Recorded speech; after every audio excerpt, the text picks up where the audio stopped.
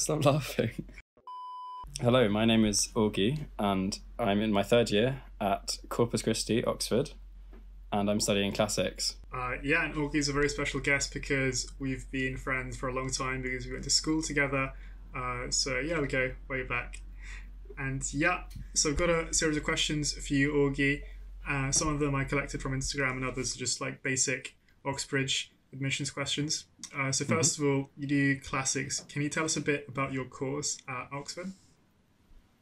Yeah, so classics is the study of ancient civilizations, um, focusing on Greece and Rome particularly.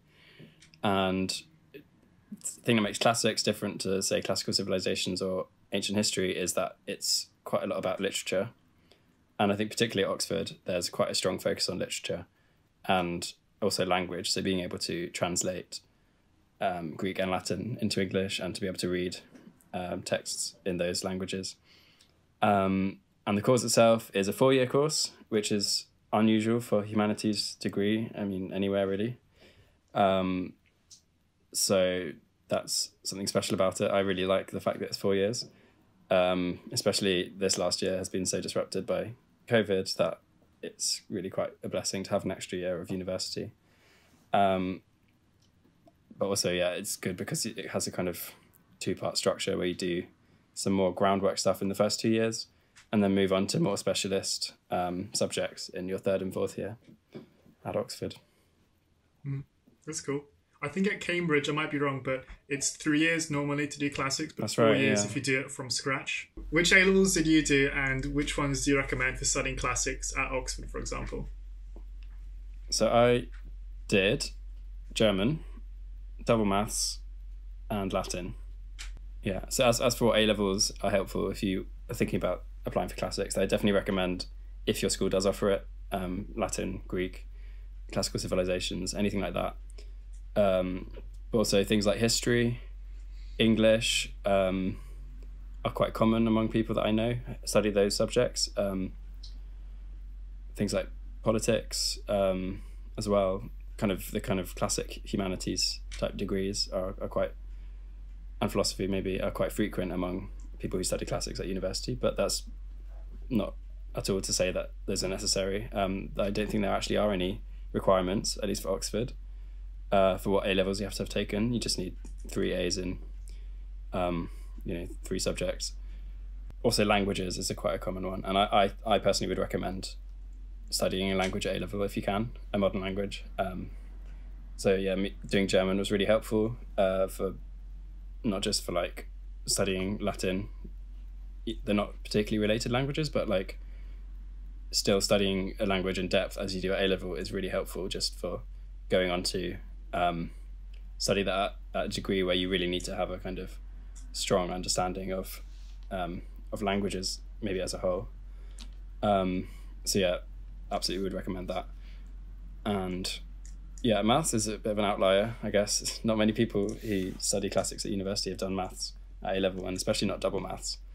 Um, but I guess I chose maths because at the time I wasn't sure whether I wanted to apply for classics or a classics related degree or maths. I mean, I was kind of undecided for some time.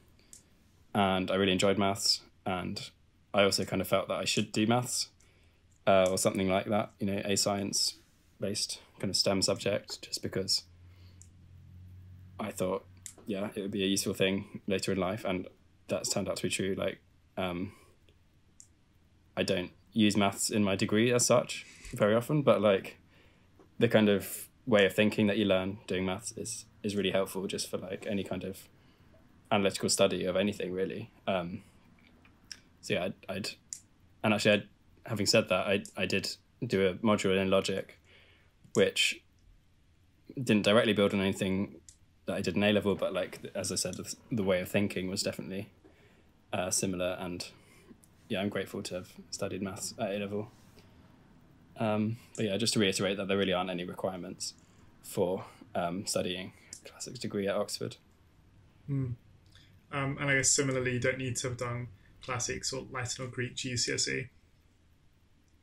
No, definitely not. Um, yeah, so I I had done Latin GCSE uh, by the time I did my A levels, which is why I was able to do Latin A level.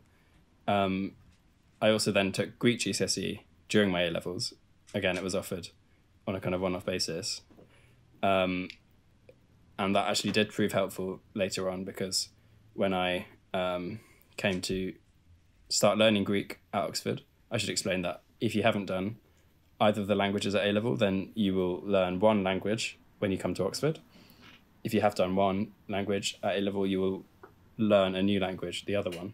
So let's say you've done Latin A level, like me. Um, I had to learn Greek uh, in Oxford, and you reach a similar standard to your Latin by the end, by the kind of second year of your degree. Um, yeah, so um, so actually studying Greek at GCSE, even that kind of relatively small amount compared to an A level, but it was still helpful later when I had to learn Greek, uh, whereas other people were learning from scratch. But as I said, by kind of second year, everyone's on about the same level.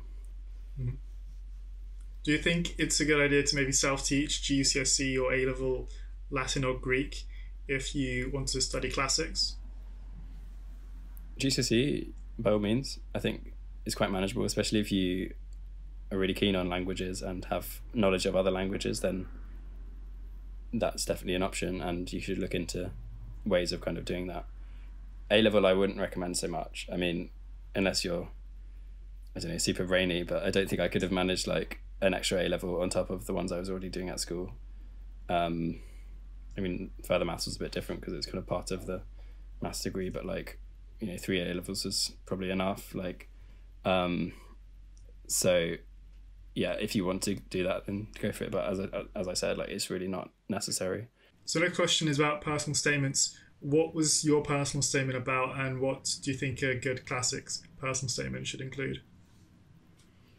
So mine was about a range of things. Um, I started with like some of the things I've been reading recently. Um, nothing particularly like scholarly or academic, just some kind of uh, historical fiction. So Robert Harris is a is a writer who um, is is still alive and still writes today, but he wrote a trilogy about Cicero and kind of imagines the world through Cicero's eyes, um, actually through the eyes of his slave, and it's just really interesting about he really explores the detail of that of the period of the kind of uh, late Republic, uh, first century BC, um, and uses quite some rigorous historical methods to kind of like reconstruct it in a really entertaining and engaging way. And so I talked a bit about him um, in my opening, and then I I talked about a trip to Rome I had with my family. Um, lucky enough to actually visit the place where it all kind of well,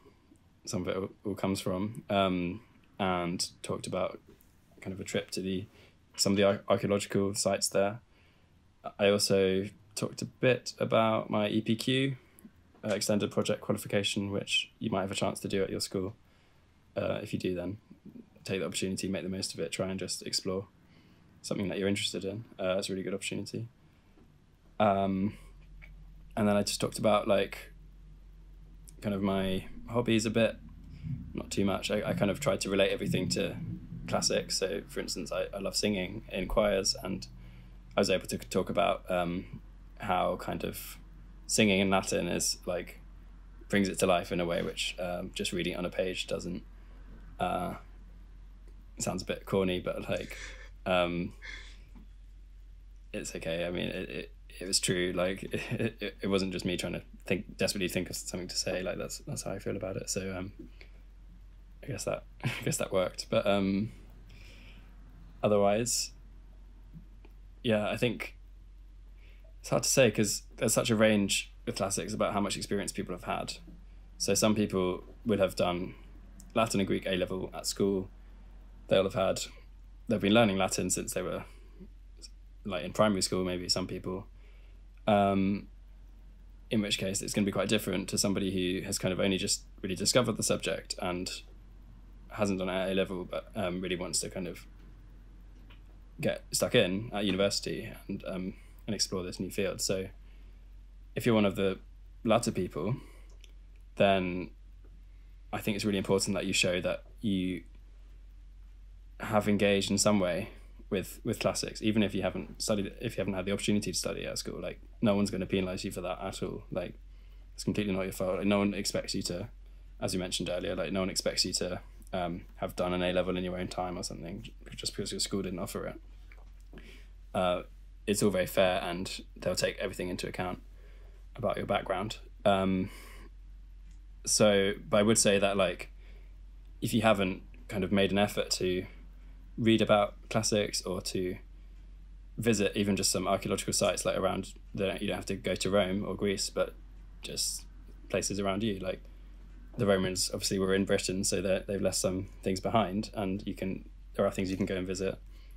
I'm not saying any of these are like you have to do, but like things like that that, that show you're kind of engaged um, are really important.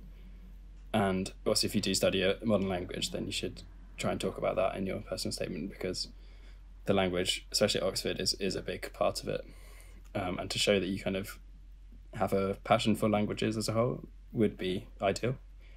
If yeah, if languages aren't so much something that you really enjoy, but you're just really interested in the culture and the literature, then that's also fine. Just like make sure you show that you've kind of made an effort with like reading some Latin and Greek authors that you like. Um, maybe if you've kind of started doing some Latin at home, like maybe, or, or perhaps you've started learning the Greek alphabet or something, you should definitely talk about that as well.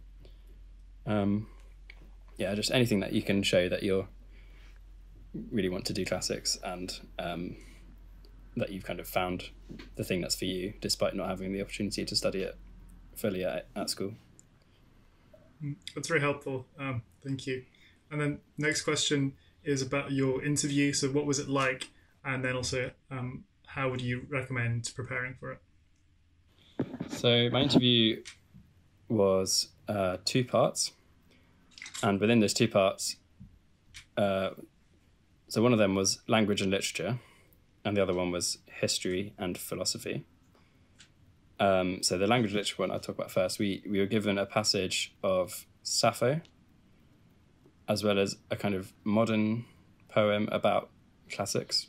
Um, written in the 20th century, uh, as well as I think maybe it was another passage, but I can't remember what it was. Um, and I, having not done much Greek before, I'd never really read Sappho or particularly knew anything about Sappho. So that was we had to read. We had twenty minutes to read that before um, and to kind of come up with some thoughts about it. And then once uh, I was invited into the room, and then we could we had a chat about the um, the passages that we were given to prepare. Um, and yeah, I came up with some stuff about papyri, and that's probably boring. Didn't need to say that. Um, yeah, so we just had a chat about the text that we were given to study, and um, it was kind of quite wide ranging, I suppose, and they definitely weren't expecting you to know any Greek or to be able to translate it on the spot. That's definitely not what they're testing, like not at all. Um, rather, it was just to see how you kind of think about text, how you think about literature, um, and yeah, just to kind of explore where your where your brain, where your interests are going to take the conversation, and that's how it was. It was just very much um, relaxed. Like I I found that I could, if I had knowledge about certain things like papyrology, I could just that I picked up from random things, I could kind of bring that in um, naturally without having to like force it in.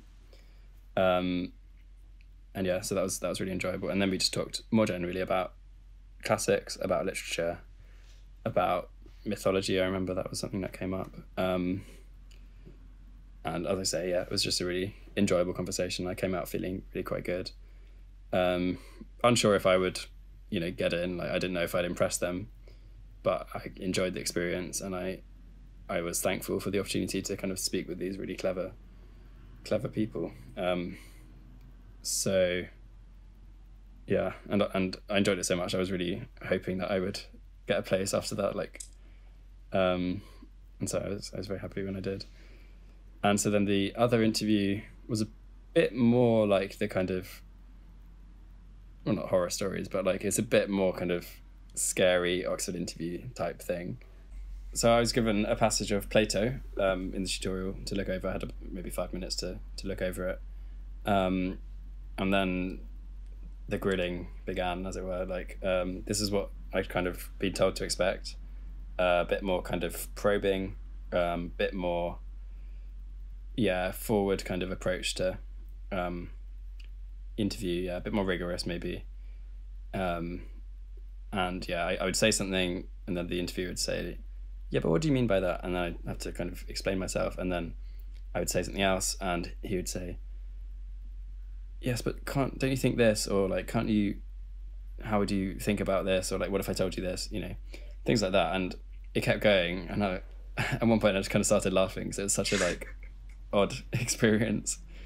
I still answered, managed to answer most of them. Uh, I probably said complete nonsense, but um, you know, at least I got something out. Um, and probably did a complete full circle and contradicted myself about five times, but you know, I survived it. Um, so that was exhilarating, but yeah, a bit a bit more sort of scary.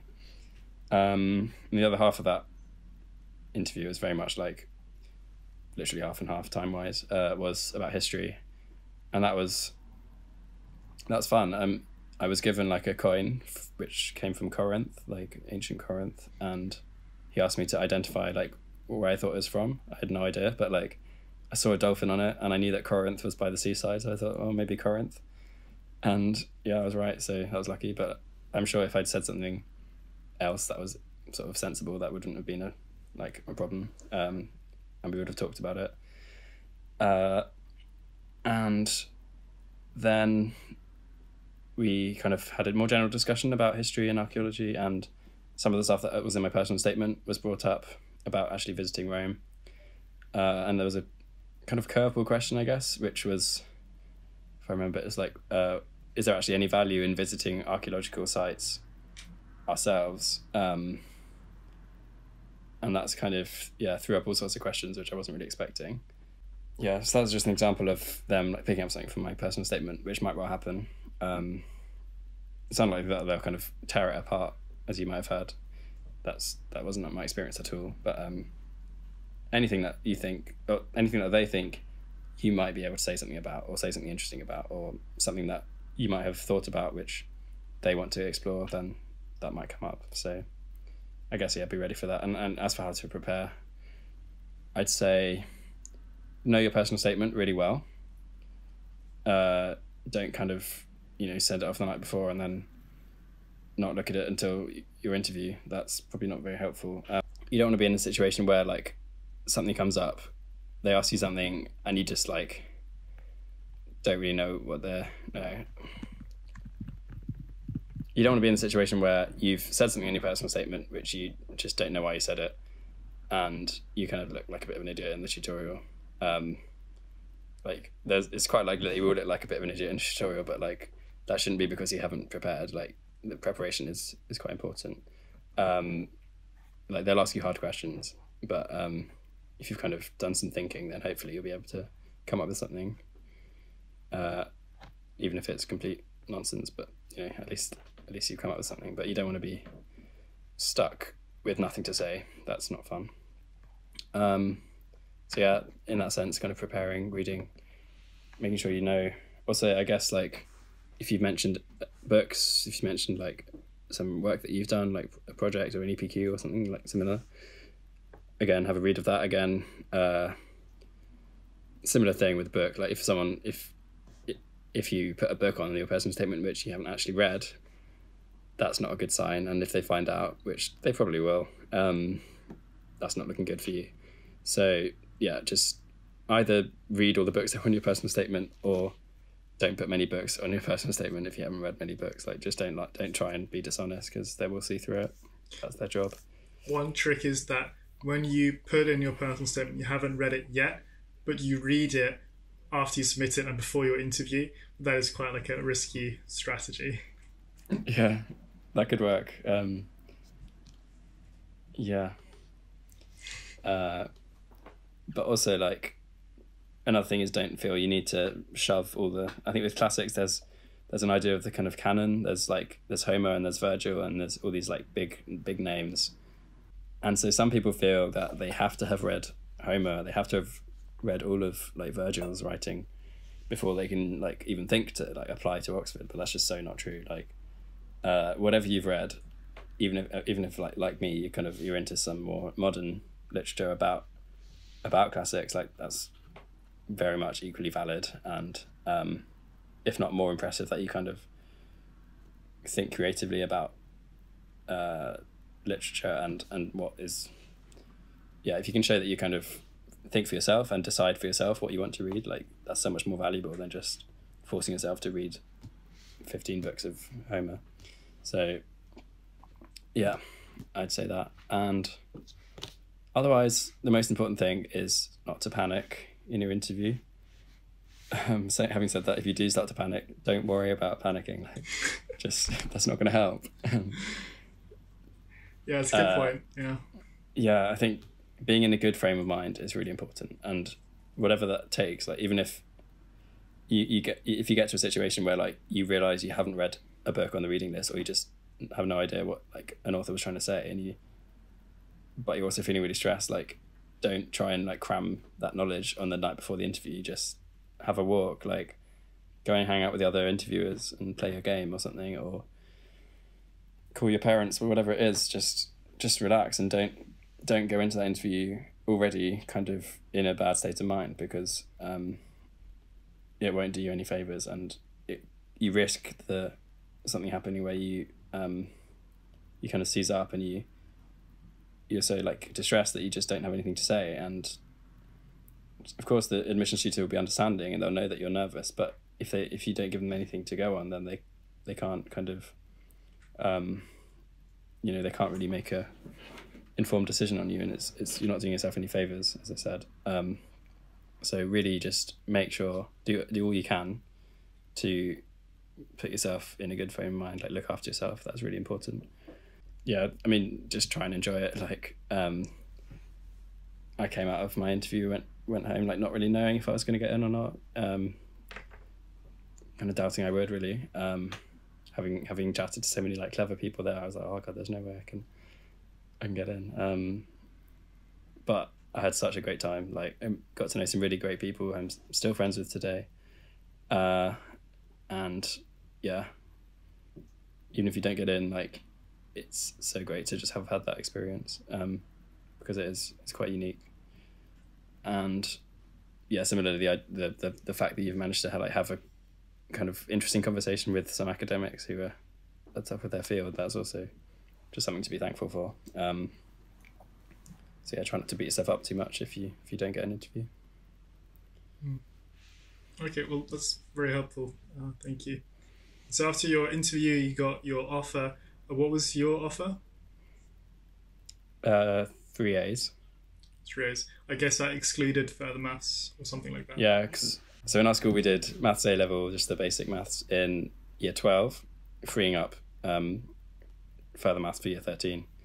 And so I wasn't given a four A level offer because they want to know how much you can do like within a year. They're not like you can do kind of seven A levels over three years, but like what they want to know is how many you can do like under pressure in time limited conditions in your in your final year like that's the most important thing um, because that's the most similar to what life would be like at oxford. Yeah, yeah definitely. Um, cool. And then just a question about your college. What's corpus christi like? So corpus christi is one of the smaller colleges in oxford. In my opinion the nicest. Now others will disagree but um, to me there's a lot about it which is just kind of ideal. Like its location is really excellent. It's right next to these amazing meadows, Christ Church Meadows, where um, beautiful nature, wildlife, and um, you can just go out and have a walk every day if you want to. It's also really central, so you're five minutes away from like the high street, from centre of town, really. But it's also kind of slightly set back from all that. It's not noisy. Um, because you go on this kind of Merton Street is like set back from the main high street, and it's just this beautiful part of town. Um, you I'm sure you've, you've seen pictures of like a lot of things are filmed there because it's really picturesque. And then it's a small college, which means there aren't that many people in it. And for me, that's really great because I know most of the people in my college, um, and every time you go into college, every time you kind of walk around the Merton Street, the area around college, you'll see someone that you, that you can bump into and have a chat, and it's just lovely community feel. I love it for that, and yeah, the other thing about Corpus I should say is um, it's f- for the number of students it has overall. There is a particularly high concentration of classicists at Corpus, and so some say it's kind of one of the main places to study classics if you're uh, thinking about applying to Oxford. Yeah, I mean, there's a kind of running joke at Corpus that like whatever event you're at, like you'll be outnumbered by classicists because um, yeah, it, has particularly high, as I said, concentration. But you know, that does not say other colleges are like any better or worse at classics. Like it's really all about kind of how you feel you fit into the kind of um, vibe there. I guess is is one of the important things. Yeah, Corpus also has like a lot of kind of fun, quirky things about it. Um, so we have like a pet tortoise, uh, which is really cool. Um, and he comes out once a year at the annual annual tortoise fair, which is actually hosted at Corpus Christi. And basically, it's just a load of tortoises from different colleges around Oxford get together and have a race. Um, and then everyone comes along and spends some money and raises money for charity, and it's a really nice summery event, um, which I'll be looking forward to hopefully next term, if such things are allowed to go ahead. But um, things like that are just wonderful, and like the gardens in Corpus are kind of unique in Oxford that the the garden has a particular style of gardening which is quite wild. Um, so he he will just let plants grow, you know, wildly if if a seed like takes sprout in a certain place and he likes the look of it, he'll keep it. Um, and so it has this kind of beautiful kind of wildness about it at the same time as the actual buildings themselves being really some of them quite old and um, like, again yeah just a beautiful design so it's a lovely place to hang out and spend three or four however many years of your life Uh, sweet. That's all the questions I had. I've got a few questions uh, from people on Instagram. Um, so one of them is just from students taking a gap year after getting their classics offer. How would you suggest they prepare for their course? So you've already got the office. you don't need to worry about like impressing anyone um, with what you've done in your gap year or anything like that. Um, just enjoy it. Don't waste it. Like as far as you can don't avoid you know avoid like sitting at home doing nothing because you just regret it later in life. Um, and yeah and just read a lot. Um, because and something I always say to people who ask about this is uh, don't think again it's the thing of don't feel you have to read like Homer and Virgil and don't feel you have to get ahead of like the text that we're going to be studying once you get to Oxford because you have plenty of time to do that once you're there. Like read stuff that really interests you no matter what it is. Like if it's if you're really interested in like Victorian literature it doesn't have to have anything obviously to do with classics but just go for it. Like read a lot of that because Oxford the lifestyle at Oxford is busy and there isn't a huge amount of free time. Like I remember in my first year, I hardly read anything at all during term time, um, and so you know, you know, take the opportunity to kind of build up a sort of ground knowledge of like the world um, before you start to get involved in a certain field, um, which can be quite narrow sometimes. So yeah. Um, read widely and read whatever interests you like doesn't matter what it is it might come in useful at some point I'll add that I felt that once you've got the offer and you've done your A level exams, there's not much need to really prepare for your course. I Yeah. was wondering whether I should prepare for my natural sciences course even the months before it started. Um, but I, I'm glad I didn't really prepare for it because there's no need to prepare for it. yeah absolutely and uh, i mean it's possible that your university will send you information about um, you know what like you need to do and in which ways you should do it to best of your ability. But i would say in my opinion that you shouldn't do that at the expense of enjoying yourself and getting kind of broader life experience in your gap year. Sweet. Um, and just a related question: Do you have a like recommended reading stuff, or is it more like just read what you're interested in? There's nothing like you need to have read. That's it. Yeah. I, I, I'll say that. Um, so yeah, to kind of reiterate what I was saying earlier, like there isn't a set amount of things that you need to read. Uh, there's no requirements. It's all about what you're interested in, um, and it kind of doesn't matter what that is. Like, I mean, okay, probably reading about like cellular microbiology isn't going to be that relevant for classics. So don't spend too much time doing that. But like, um, if it, if if that is something that really interests you, maybe you're doing the wrong course. I don't know, but um, like anything, history, archaeology, philosophy, any kind of literature, it's all going to get you thinking in the kind of, you know, like scholarly way that is what um, university kind of teaches you. So if you can get a head start with that, that's that's that's wonderful. Um, uh, in terms of specific recommendations, again, it's so hard to say because I might recommend something that I love and which you find completely boring. And if that's the case, please don't read it. Um, but I would say Robert Harris is the one I mentioned earlier. Um, his Cicero trilogy is is is just great. Um, so definitely have a look at that at least. Try it out.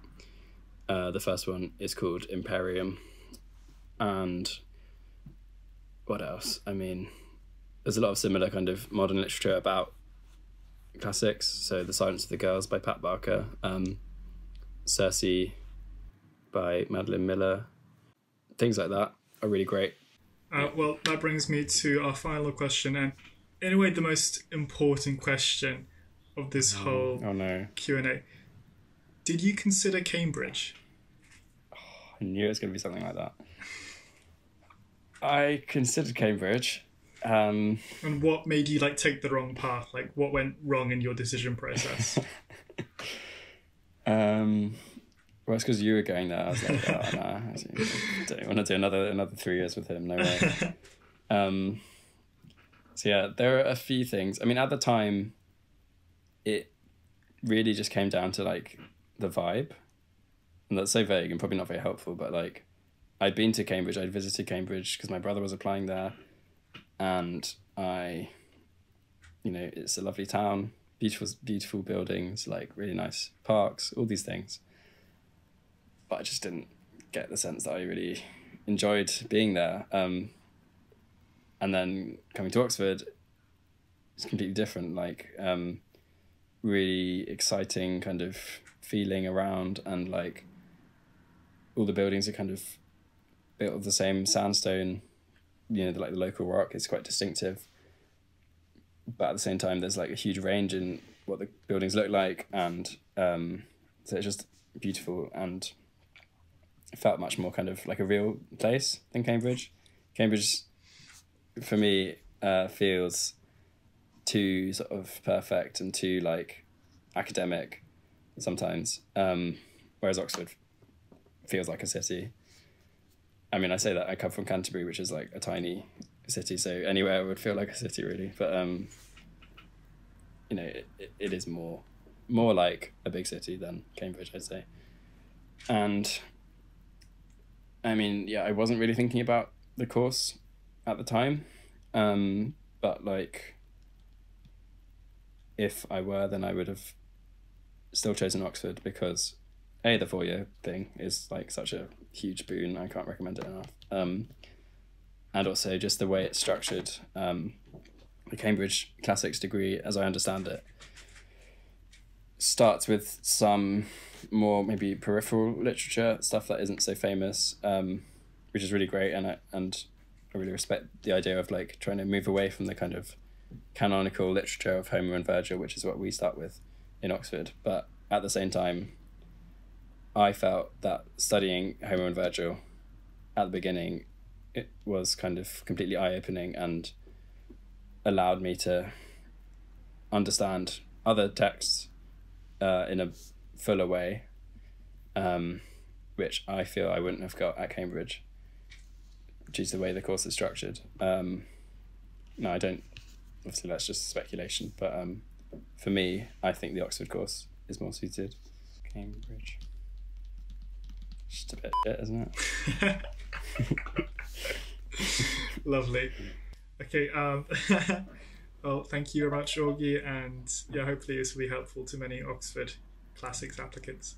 I hope so. And yeah, good luck, everyone. Um, yeah, have fun. Bye.